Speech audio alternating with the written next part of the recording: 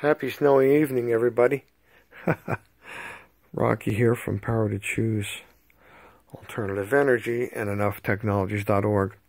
So we had a, a little blink out. Um, the rest of the subdivision went out, and we really didn't have much trouble.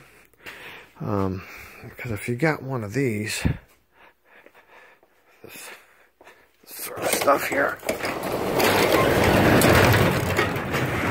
doesn't matter much.